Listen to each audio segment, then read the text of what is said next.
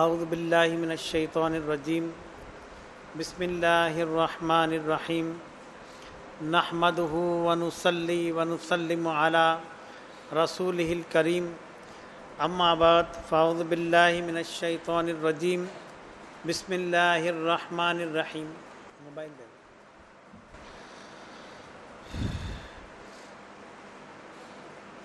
دے الا ان اولیاء اللہ لا خوف علیہم ولا هم يحزنون. صدق اللہ مولانا العلی العظیم وصدق رسوله النبی الکریم ونحن على ذلك لمن الشاہدین والشاکرین والحمد للہ رب العالمین بارگاہ رسالت اور آل رسالت میں باواز بلند درود پاک کا نذرانہ پیش کیجیے۔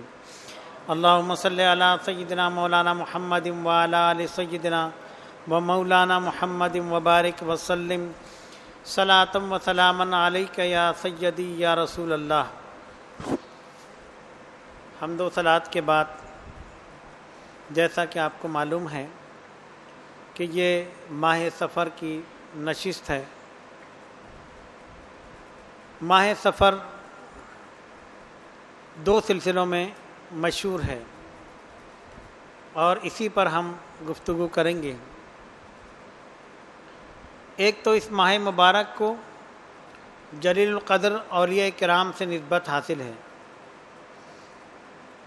جن میں حضور فیض عالم حضرت داتا گنج بخش علی ہجویری رحمۃ اللہ علیہ، حضرت مجدد الفسانی تاج دار گولڈا، حضرت پیر مہر علی شاہ صاحب گوڑوی رحمۃ اللہ علیہ، اور امام عشق و محبت امام احمد رضا خان فاضل بریلوی رحمۃ اللہ علیہ۔ اور بھی دیگر بزرگان دین نے اس ماہ مبارک میں وصال فرمایا۔ اور ان کے عرس اس مہینے میں منعقد ہوتے ہیں۔ اور اہل سنت اس مہینے میں ان بزرگان دین اور اولیاء کاملین کو ان کی تاریخ وصال پر ایسال ثواب کرتے ہیں۔ دوسرا پہلو جو ماہ سفر سے متعلق ہے وہ کچھ توہمات ہیں۔ جو جوہلا نے مشہور کر دیا ہے اور خصوصاً خواتین اس سلسلے کے اندر بہت زیادہ آگے رہتی ہیں، تو ہمیں چاہیے کہ ہم ان چیزوں کو بھی دیکھیں اور اپنے گھروں سے اس قسم کے وہم توہمات کو دور کریں اور اسلامی تعلیمات سے اپنے خواتین کو آگاہ کریں اور دین اسلام کی صحیح تصویر ہمارے گھرانوں میں نظر آئے۔ جہاں تک توہمات کا تعلق ہے، بعض لوگوں کا نظریہ یہ ہے کہ یہ مہینہ منحوس ہے۔ حالانکہ ایسی کوئی بات نہیں جمی اہل سنت کا یہ مسلک ہے کہ یہ مہینہ مبارکہ ہے اور اولیاء کرام سے نسبت رکھتا ہے۔ اور اس مہینے میں بزرگان دین اور اولیاء کاملین کے مدارات کی طرف عوام اہل سنت متوجہ ہوتی ہے اور ان کے مزارات پہ عرس کے سلسلے میں حاضر ہو کر اصال ثواب کرتے ہیں۔ بعض لوگوں کا نظریہ یہ ہے کہ اس مہینے میں شادی نہیں ہونی چاہیے۔ بعض کہتے ہیں اگر شادی ہوئی بھی ہو تو لڑکی کو رخصت نہیں کرنا چاہیے، خالی نکاح ہو جائے۔ یہ سب باتیں جو کی ہیں۔ ایسا کوئی معاملہ نہیں۔ اہل سنت کا ایسا کوئی عقیدہ نہیں۔ بعض خواتین کہتی ہیں کہ اس مہینے میں مردوں کا صدقہ دیا جانا چاہیے۔ کیونکہ یہ مہینہ مردوں پہ بہت بھاری ہوتا ہے۔ ایسی بھی کوئی بات نہیں۔ جہاں تک صدقہ و خیرات کا تعلق ہے، اس کے لیے کوئی مہینہ مخصوص نہیں ہے۔ رمضان المبارک میں اس لیے یہ معاملات زیادہ ہوتے ہیں کہ ہر چیز کا ثواب دگنا ہو جاتا ہے۔ ورنہ نہ تو یہ منحوس مہینہ ہے اور نہ ہی صرف اسی مہینے میں صدقے کو مخصوص کیا جائے اور وہ بھی صرف مردوں کا ایسی کوئی بات نہیں۔ اگر کوئی صدقہ دے تو بے شک دے سکتا ہے، لیکن یہ سوچ کے نہیں کہ یہ مہینہ مردوں پہ بھاری ہو رہا ہے یا کوئی اس طرح کا معاملہ ہے۔ اس معاملے میں ہمیں دین اسلام کی تعلیم سے خود بھی آگاہ رہنا چاہیے اور ہمارے گھر والے اور عائد و قارب کو بھی اس سلسلے میں تعلیم دینی چاہیے کہ ہم کسی جہالت کی طرف نہ جائیں۔ بعض لوگ اس مہینے میں سورہ مزمل شریف کا ختم رکھتے ہیں کہ تین سو تیرہ مرتبہ سورہ مزمل شریف کا ختم کیا جائے تو اس کا بڑا ثواب ہوتا ہے۔ جہاں تک ثواب کا تعلق ہے، اس کا سورہ مزمل سے تعلق ہے۔ صرف ماہ سفر سے نہیں، اگر اس کو باقاعدہ کوئی ختم کی صورت میں پڑھنا چاہے، تو وہ کسی بزرگ کی اجازت سے، جو صاحب اجازت کی اجازت سے پڑھے، خواتین ہوں یا حضرات ہوں۔ کیونکہ میں ایک مرتبہ پہلے بھی ایک نشست میں سورہ مدمل شریف پر تفصیلی گفتگو کر چکا ہوں کہ یہ سورہ مبارکہ بہت جلالی ہے اور بڑی احتیاط کے ساتھ پڑھنی چاہیے۔ اور اگر اس کو ختم کی صورت میں پڑھا جائے تو جب تک کسی سے اجازت نہ لی جائے، کسی صاحب اجازت سے، اس وقت تک اپنے طور پر خواتین کو نہیں اس طرح کرنا چاہیے کہ اس طرح سے وہ تلاوت کی جائے یا ختم کیا جائے۔ جہاں تک سورہ مدمل کی تلاوت کا تعلق ہے، اس کے لیے تو اجازت کی ضرورت نہیں، قرآن پاک کی تلاوت کی طرح اس کی تلاوت ہو سکتی ہے۔ لیکن اگر اس کی تعداد بڑھ گئی اور تین سو تیرہ کی تعداد میں پڑھا جا رہا ہے، تو پھر یہ ختم کی صورت میں اور یا کسی بھی انداز میں تو اس کی تعداد کی وجہ سے اس کے اندر ایک جلالی کیفیت پیدا ہو جاتی ہے۔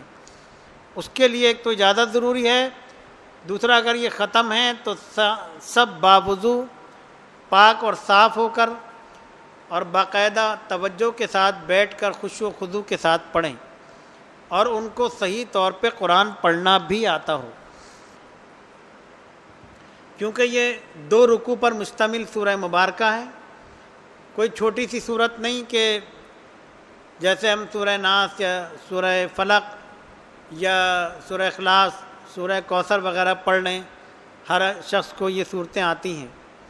تو جن کو یہ باقاعدہ آتی ہوں اور صحیح طرح قرآن پڑھنے والے ہوں، وہ سب بیٹھ کر، مل کر بیٹھ کر پڑھیں اور ان کی تعداد کم از کم دس سے زیادہ ہو تو پھر اس کا ختم کیا جا سکتا ہے۔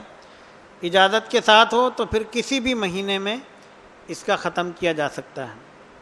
اس میں کوئی ایسی خاص پابندی نہیں ہے کہ اسی ماہ مبارک میں کیا جائے۔ لیکن اگر کوئی یہ سوچے کہ حالات کے پیش نظر کوئی اس طرح کے معاملات آ رہے ہیں کہ مسلمانوں پر مصیبتیں نازل ہو رہی ہیں یا ہماری اپنی بدعمالیوں کی وجہ سے پریشانیاں آ رہی ہیں، تو پھر اس کا ختم اس صورت میں اجازت کے ساتھ کیے جانے میں کوئی حرج نہیں۔ یہ ماہ سفر سے متعلق کچھ باتیں تھیں جو میں ضروری سمجھتے ہوئے آپ حضرات کے سامنے پیش کیں تاکہ جو بھی خواتین و حضرات میری اس گفتگو کو سنیں، وہ اس معاملے میں احتیاط کریں۔ جو لوگ بالکل یکسر ان سب چیزوں کو مسترد کر دیتے ہیں، ہم اس میں سے نہیں۔ میں نے یہ کبھی نہیں کہا یا ہمارے یہاں کا یہ کبھی بھی مسلک نہیں رہا کہ ہم پابندی کریں کہ نہیں، اس کا ختم دلانا ضروری ہے۔ یا اس کو مائع سفر میں پڑھنا ضروری ہے، یا یہ یا وہ، اس طرح کا کوئی مسئلہ نہیں، اس میں کوئی پابندی نہیں، یہ ایک مستحب عمل ہے۔ اور سورہ مزمل کے حسنات و برکات کے حصول کے لیے اگر یہ اس طرح سے پڑھا جائے تو اس میں کوئی حرج نہیں۔ دوسری بات، اس ماہ مبارک کے وہ بزرگان دین جنہوں نے اس ماہ مبارک میں مثال فرمایا اس لحاظ سے اس ماہ مبارک میں ہم کوئی بھی وظیفہ یا قرآن مجید فرقان حمید کی تلاوت کریں تو کوشش کریں کہ ان بزرگان دین اور اولیاء کاملین کہ جن کا تعلق ماہ سفر سے ہے اور ان کا وصال اس ماہ مبارک میں ہوا ہے، ہم ان کو ضرور اصال ثواب کریں۔ اس کے دو فائدے ہیں اور آپ جانتے ہیں اصال ثواب کے ہمیشہ یہ فائدے رہے کہ پڑھنے والے کو پڑھنے کا بھی ثواب ملتا ہے اور وہ جن کو اصال ثواب کرتا ہے ان کی روح کو بھی ثواب پہنچتا ہے اور اگر وہ متقی اور پرہیزگار ہستی ہیں، اولیاء کرام میں سے ہیں، تو ان کے درجات بلند ہو جاتے ہیں اور ان کے صدقے میں اللہ تبارک و تعالیٰ پڑھنے والے کے گناہوں کی مغفرت کر دیتا۔ تو یہ چیز مد نظر رکھتے ہوئے اللہ رب العزت کی بارگاہ سے امید رکھنی چاہیے۔ اس ماہ مبارک میں جیسے میں نے عرض کیا کہ بہت سے بزرگان دین نے وصال فرمایا، ان میں ایک عظیم الشان ہستی حضرت مجدد الفسانی ہیں۔ جو مختصر سے وقت میں میں ان پر کچھ گفتگو کرنا چاہتا ہوں۔ آپ اکبر کے دور میں ہندوستان کی سرزمین پر تشریف فرما ہوئے اور آپ نے وہاں رجد و ہدایت کا سلسلہ شروع کیا۔ اللہ رب العزت نے ہمیشہ اپنے دین کی حفاظت کے لیے ایسی عظیم الشان ہستیوں کو اس دنیا میں بھیجا کہ جنہوں نے اسلام اور پیغمبر اسلام کی تعلیمات کو عام کیا اور لوگوں کو گمراہ ہونے سے بچایا۔ یہ رب تبارک و تعالیٰ کا کرم رہا کہ اس نے اس ناپائیدار زندگی کی اصلاح کے لیے اور اس عجیب و غریب ماحول گناہوں کے ماحول میں اپنی مخلوق کو تنہا نہیں چھوڑا۔ اگر یہاں شیاطین موجود تھے اور ہیں اور ان کے حملے ہوتے رہے اور ہو رہے ہیں، تو اس کے مقابلے میں اللہ تبارک تعالیٰ نے ہمیشہ ایسی ہستیوں کو دنیا میں رکھا تاکہ لوگ ان کی طرف رجوع ہوں، شیطان کے مکر و فریب سے بچیں اور گمراہ ہونے سے بچتے رہیں۔ اکبر کا دور آپ جانتے ہیں کہ بر صغیر پاک و ہند کا بہت ہی خطرناک دور رہا اسلام کے خلاف۔ کہنے کو وہ مسلمان تھا، لیکن وقت گزرنے کے ساتھ ساتھ اس کے اندر تبدیلیاں پیدا ہو گئیں اور اپنی حکومت کو بچانے کے لیے بر صغیر میں جتنی بھی قومیں آباد تھیں، ان سب کو اپنے ہاتھ میں رکھنے کے لیے اس نے ماد اللہ اپنے دین کو ختم کر دیا۔ اور دین اسلام کی اہمیت کو ختم کر کے ہر دین کو کا ایک مجموعہ بنا کر ایک ایسا گھالم گول معاملہ کیا کہ کوئی بھی دین اپنی اصل پر باقی نہیں رہا۔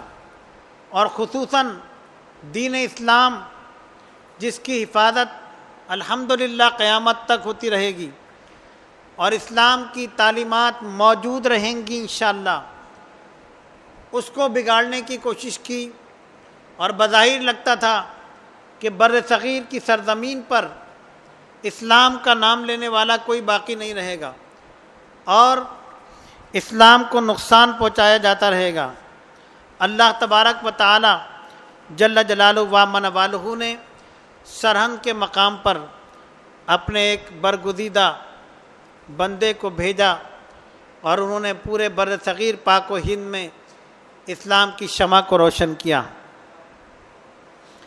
حضرت مجدد الفسانی وہ عظیم الشان ہستی ہیں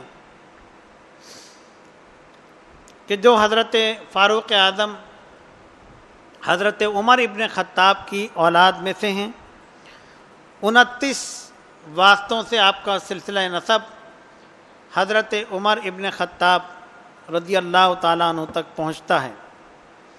آپ کا نام نام اس میں گرامی احمد ہے، کنیت ابو البرکات ہے اور لقب بدر الدین ہے۔ اور دنیا آپ کو مجدد الفسانی کے نام سے جانتی ہے۔ آپ کا تعلق سلسلہ نقش بند سے ہے اور نقش بندیہ سلسلے کی ایک شاخ آپ کی ذات سے شروع ہوتی ہے اور سلسلہ نقش بندیہ مجددیہ کہلاتا ہے جو سلسلہ حضرت مجدد الفسانی کے واسطے سے چلا وہ سلسلہ نقش بندیہ مجددیہ کہلاتا ہے۔ آپ نے اسی سال کی عمر پائی اور سن ایک ہزار سات میں وصال فرمایا سرحند ہندوستان کے شہر میں آپ کا مدار مبارک ہے۔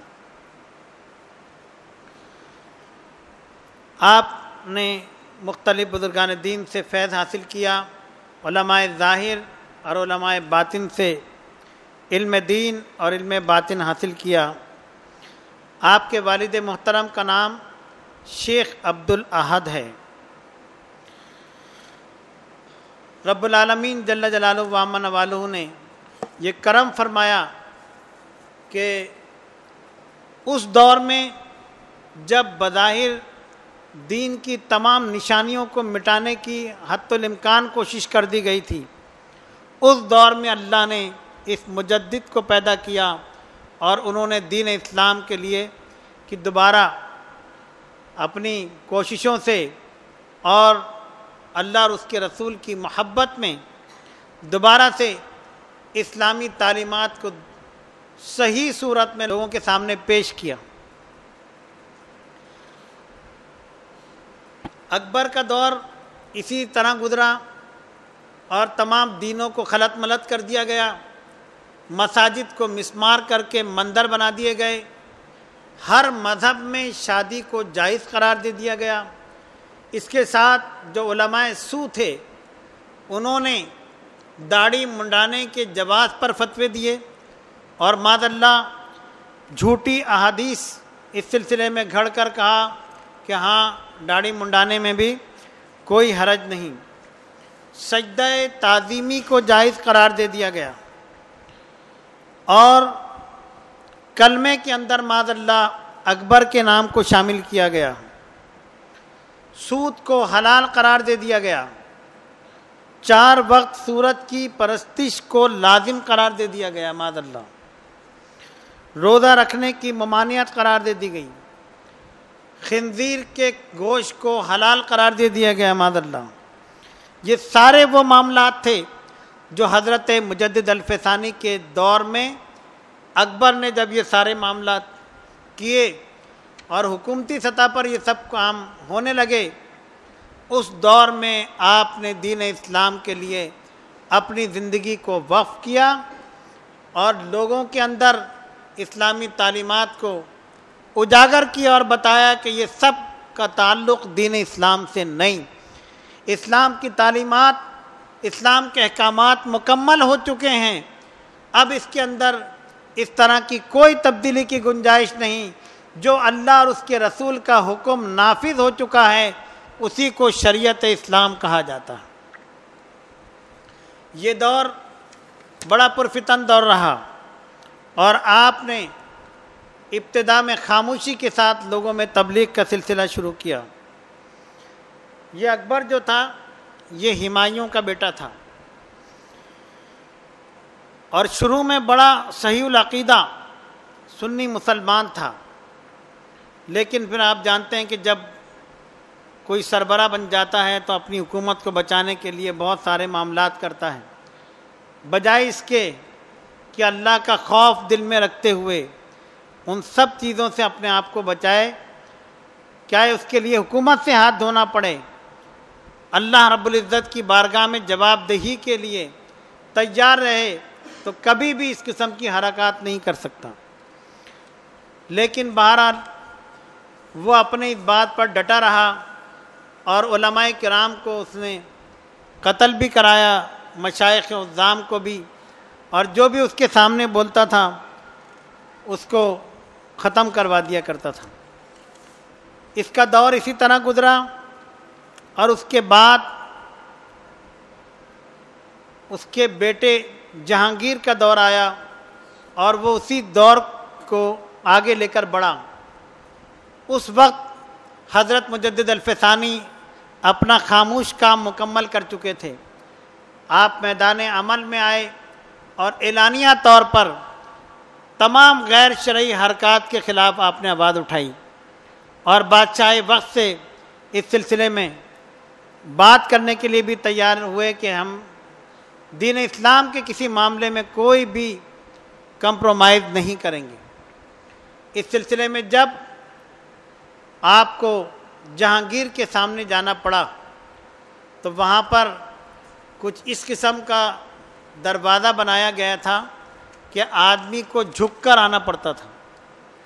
اور یہی وہ چاہتے تھے کہ ہمارے سامنے جھکا جائے یا جناب ماد اللہ ہماری تعظیم میں سجدہ تعظیمی کی جائے، یہ سارے معاملات کیے جائیں۔ لیکن جب اللہ کا یہ نیک اور مقرب بندہ دربار جہانگیری میں پہنچا، تو آپ نے دروازے میں جھک کر داخلے کو اسلام کی تعلیمات کے خلاف سمجھا۔ اور پہلے آپ نے اپنا پاؤں ڈالا، اس کے بعد اپنے جسم کو اندر داخل کیا۔ اور یہ بتایا کہ میں ایسے حکمران کے سامنے کبھی بھی کسی بھی معاملے میں کوئی بھی احتیاطاً یا ویسے نہیں کروں گا، بلکہ یہ اسلام کی عزت کا معاملہ ہے، لہذا میں اس کے آگے ہرگز نہیں جھک سکتا۔ انہی کے لیے ڈاکٹر اقبال نے کہا کہ وہ ہند میں سرمایہ ملت کا نگہباں اللہ نے بر وقت کیا جس کو خبردار، گردن نہ جھکی جس کی جہانگیر کے آگے۔ جس کے نفس سے گرم سے ہے، گرمی احرار۔ آپ نے اس کیفیت میں جہانگیر کے سامنے آپ کو پیش کیا گیا اور آپ نے وہاں اسلامی تعلیمات کو اجاگر کیا اور بتایا کہ اسلام کی تعلیمات یہ ہیں، تم کیسے مسلمان ہو کہ تم نے اور تمہارے باپ نے اسلام کی ساری تعلیمات کو تبدیل کرنے کی کوشش کی۔ اس بات کی پاداش میں آپ کو ایک سال تک گوالیار کے قلعے کے اندر قید کر دیا گیا۔ لیکن آپ نے اس قید کو منظور کیا، لیکن کبھی بھی دین اسلام کے بارے میں کوئی کمپرومائز نہیں کیا۔ یہ اللہ کے نیک اور مقرب بندے تھے۔ سلسلہ نقش بند کے یہ عظیم روحانی بزرگ حضرت خواجہ باقی بلّہ رحمۃ اللہ علیہ کے مرید اور خلیفہ ہیں۔ حضرت خواجہ باقی بلّہ رحمۃ اللہ علیہ سلسلہ نقش بندیہ کی بہت بڑی شخصیت ہے اور آپ کا مدار مبارک دہلی کی سرزمین پر موجود ہے آپ کے نام سے ہی قبرستان ہیں۔ میں اپنا ایک ذاتی مشاہدہ آپ حضرات کے سامنے پیش کروں کہ یہ بزرگان دین اور اولیاء کاملین شاید پہلے بھی کبھی آپ نے میرے منہ سے یہ بات سنی ہو۔ میں سن دو ہزار دس میں بارگاہ خواجہ میں حاضر ہوا، اجمیر شریف۔ تو آپ جانتے ہیں کہ دہلی اسٹیشن سے گزرنا پڑتا ہے۔ ہماری صبح کی گاڑی تھی، ہم دہلی اتر گئے اور رات کی گاڑی سے ہمیں اجمیر شریف جانا تھا۔ چنانچہ ہم نے سفر اختیار کیا۔ دہلی میرے آبا و اجداد کا شہر ہے۔ میرے والد، میرے دادا نے دہلی سے ہجرت کی، پاکستان آنے کے لیے۔ تو وہ ہمارا عقیدت اور محبت کا شہر ہے۔ اور وہاں بزرگان دین، اولیاء کاملین جیسی عظیم ہستیاں موجود ہیں۔ مہرولی میں خواجہ قطب الدین مختار کاکی موجود ہیں۔ حضرت بستی نظام الدین میں حضرت نظام الدین اولیاء، حضرت امیر خسرو، حضرت فخر جہاں۔ اور نہ جانے کتنے بزرگان دین بائیس خواجہ کی چوکھٹ کہلاتی ہے تو ہم نے سارا دن وہاں پر گزارا۔ مجھے نہیں معلوم تھا کہ کون سا مزار کہاں ہے، کیونکہ پہلی مرتبہ گیا تھا۔ تو میں جتنے بھی مزارات پہ خود جا سکا، لوگوں سے پوچھ کر چلا گیا۔ واپسی پر میں جب ہمیں کہا گیا تھا کہ مغرب کی نماز اسٹیشن پر ہی پڑھیے گا، کیونکہ مغرب کے بعد کسی وقت بھی گاڑی چل جائے گی۔ چنانچہ میں ساری مصروفیات اور ملاقاتیں کر کرا کے مغرب سے پہلے پہلے کوشش کی کہ میں وہاں پہنچ جاؤں۔ راستے میں میں نے جو صاحب میرے ساتھ تھے، ایک دہلی کے مقامی مل گئے تھے، تو وہ مجھے تانگے میں اسٹیشن چھوڑنے آئے۔ جب اسٹیشن قریب آیا، تو میں نے ان سے کہا کہ بھائی، یہاں حضرت خواجہ باقی بلّہ کا بھی تو مزار ہے۔ تم نے، تمہیں پتہ ہے وہ کہنا ہاں حضرت، آپ پہلے بتاتے تو ہم ان کے مزار سے ہوتے ہوئے آتے، راستے میں وہ گزرا ہے۔ ہم ان کے مزار کے قریب سے گزرے ہیں۔ میں نے کہا، بڑا افسوس ہوا اور اب ٹائم بھی کم ہے، مغرب کی اذانیں ہونے والی ہیں۔ چلو، ایک خواہش تھی کہ دہلی میں حضرت خواجہ باقی بلّہ کا مزار ہے، وہاں حاضری دینی ہے۔ حالانکہ وہ سلسلہ نقشبند سے تعلق رکھتے ہیں۔ اور میرا تعلق سلسلہ ارادت، چشتیہ قادریہ سلسلے سے، لیکن الحمدللہ سلسلہ اشرفیہ وہ سلسلہ ہے جو نقشبندیہ بھی ہے، چشتیہ بھی ہے، قادریہ بھی ہے، سوروردیہ بھی ہے۔ تو ہماری ایک نسبت حضرت خواجہ باقی بلّہ سے بھی۔ بہرحال انہوں نے کرم کیا۔ جب میں اسٹیشن پر اترا، آپ یقین جانیں میں اپنے ذاتی مشاہدے کی بات کر رہا ہوں۔ تو سامنے سے ہمارے گروپ لیڈر آتے ہوئے نظر آئے، جو حکومت کی طرف سے ہمارے گروپ میں تھے۔ تو انہوں نے مجھ سے کہا کہ آپ کہاں سے آ رہے ہیں؟ میں نے کہا میں بہت سے مزارات، صبح سے دہلی کے مزارات میں حاضری دے رہا ہوں۔ تو انہوں نے مجھ سے پوچھا، آپ نے حضرت خواجہ باقی بلّہ کے مزار پہ حاضری دی؟ میں نے کہا نہیں، مجھے تو پتہ نہیں تھا، میں نہیں جا سکا۔ ان کو پتہ ہے جو میرے ساتھ ساتھ آ رہے ہیں۔ کہنا اچھا ان کو پتہ ہے؟ چلیں، آپ میرے ساتھ چلیں۔ میں نے کہا، آپ نے تو کہا کہ مغرب تک دہلی اسٹیشن پہ پہنچ جائیں۔ اور گاڑی کسی وقت بھی روانہ ہو جائے گی۔ کہا، حضرت، وہ ہم نے لوگوں کو جمع کرنے کے لیے کہا۔ گاڑی تو رات کے دس بجے جائے گی۔ چلیں آپ میرے ساتھ چلیں۔ انہوں نے مجھے اپنے ساتھ تانگے میں بٹھایا اور آپ یقین کریں کہ ہم وہ جو ہمارے ساتھ دہلی کے مقامی صاحب تھے، وہ ہمیں لے کر حضرت خواجہ باقی بلّہ کے مدار پر لے کر پہنچ گئے۔ ایک خواہش دل میں آئی، اللہ تبارک و تعالیٰ کے نیک بندے کے مدار پر حاضری کی۔ اللہ تعالیٰ نے اس خواہش کو پورا کیا اور وہ ایسے بزرگ کہ ہم نے ان کا خالی ان کے مدار پہ جانے کی خواہش کی اور انہوں نے ہمیں بلا لیا۔